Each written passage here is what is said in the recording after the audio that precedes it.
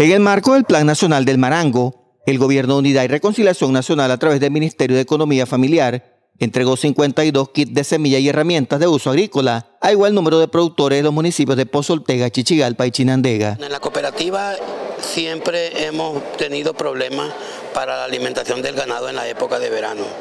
Así nos informamos nosotros del marango que tenía valores nutritivos eh, importantes. Después, a través del MESCA nos dimos cuenta que el marango también era para consumo humano. Es un gran beneficio tanto económicamente como para nuestros medicamentos y nuestros pastos de nuestros animales.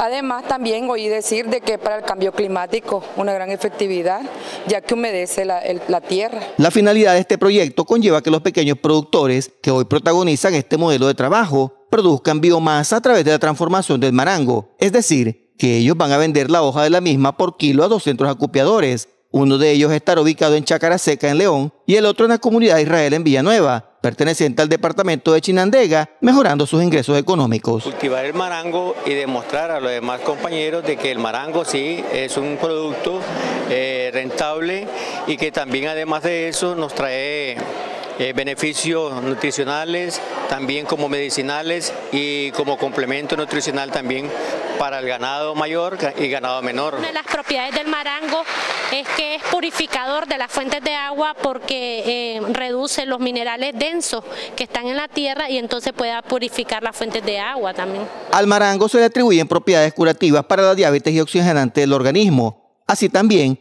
se destaca como un importante alimento para el ganado. De igual manera, es señalado como un árbol resistente a la sequía y a otras afectaciones del cambio climático. En el futuro, se tiene previsto que los pequeños productores se dediquen a la venta del té de marango, cápsulas y harina de marango. Desde Chinandega, Jair Carrillo, Multinoticias.